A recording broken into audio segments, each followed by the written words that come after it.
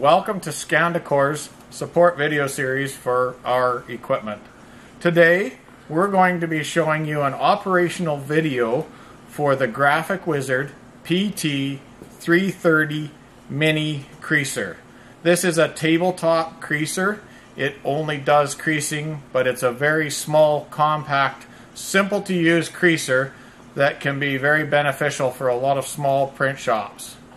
So the unit here on the table has very simple components. This is the exit tray here. It is locked in place with two little locking levers. You just flip them up, you push the tray forward, and you can take this tray off.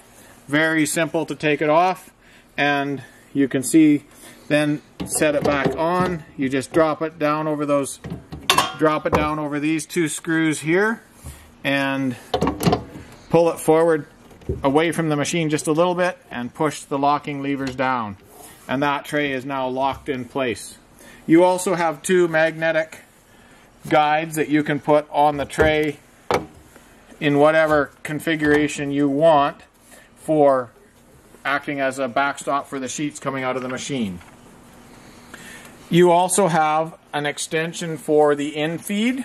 This is also very easy to assemble. It has three screw eye slots and there's three cap screws right here. You just loosen them off a bit.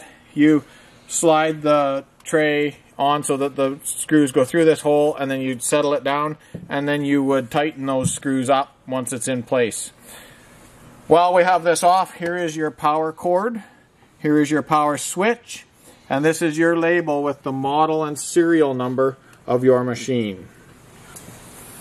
So to put this tray on, we just go in here like this and just set it down. And then we would tighten those screws up. The only other thing left to set up then is when you take your piece of paper that you're going to use, you want to set it on the tray. This guide back here is fixed. You set your sheet in along it, square with it, and then this movable guide here magnetic guide, you slide it up against the sheet until it is just supporting the sheet nicely. You don't want it to have any drag on the sheet, but you don't want the sheet to have any amount of side to side room either. So that it holds that sheet nice and square and nice and steady without actually putting any drag or resistance on it. This lid here opens and you can open this lid and this is where your creasing bar is and your sensor for the lead edge is right in under here.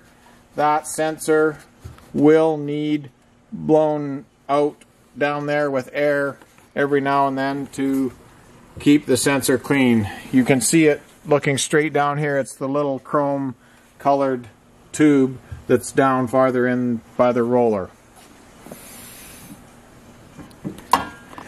To turn the machine on, you simply connect the power cord and turn the button on. It now goes through a boot up. It says welcome and then it run comes onto the run screen. So this is where you could run a job. This does come up with the last job that you ran. This is also the screen where you start to either program a new job, recall a job from memory, or save a job. So you have your mode button here. Push it once and this takes you to input crease data and you can input your creases for the job that you're programming. So I want to do, say I want to do my first crease at 4 inches, I would push 4 and then the enter arrow and that now automatically goes to the second crease position. I want to do that at 6.5 so I go 6.5 and I hit my enter. This now comes to the next screen where I can enter my third crease position, say I wanted to do that one at 8 inches, you go 8, enter. Now that's the end of my job. I only have those three creases. If I only had two creases, I would only input two numbers. But the point is, when it bounces forward to the next number, it is blinking. You simply hit enter, enter that fourth position as a zero, and that is how you tell the machine that you have completed programming your job. So I now have the three creases programmed And in order to run that job, I can simply take my piece of paper, I can push the start switch, and I can put my paper in and feed it through and run it. And it stops and does those three creases at the correct spots. You can see that they're a very nice crease, very consistent, very uniform, distinct crease.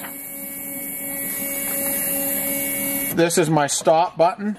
You can also see now this has come up with a C4 error, no paper or a jam. It simply means that the sensor didn't detect a, a paper going through the machine. So this is a typical error that will come up if you have a jam or if you don't feed a paper soon enough. You simply hit the clear button and that clears that error and you're ready to go again. Now I want to go through the modes of operation on this. So we push the mode button once, that's where you input your crease data. Push the mode button a second time, this is where you could recall a job. Push it a third time, this is where you would save a job. Supposing I wanted to save this job, I could save it as job number one, or I could go number two, and I could save it as job number two or three, all the way up to, I think, quite a few different job saving positions in this unit. The you then push the enter button and it says save job successful and it comes back to the ready screen you're ready to run. Now if you want to recall that job you push the mode once, push it a second time, recall job number, job number two, I push the two and I'm recalling job number two. I push the enter button and it says recall successful and it brings up those numbers and puts them right in there. To go further through the mode, you push it once as your input, data, recall, save. The fourth push takes you to your speed control. You now have low speed or high speed, and the little asterisk there denotes which one it's running on. Right now it's running on one. If I wanted to change it, I would just simply push two on the keypad and push enter, and it would move it to high speed. And it comes back to the default screen. If you scroll through and you happen to go farther than you wanted to go, you can simply push it until it comes back. After the fifth push, it comes back to your ready screen.